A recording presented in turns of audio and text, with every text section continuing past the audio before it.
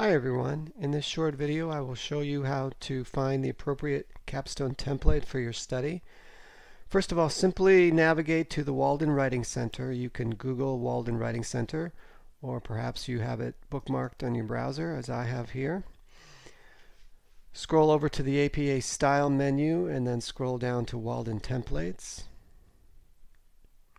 And then on the left hand side scroll down to Doctoral Capstone Templates and you will arrive at the landing page for the capstones.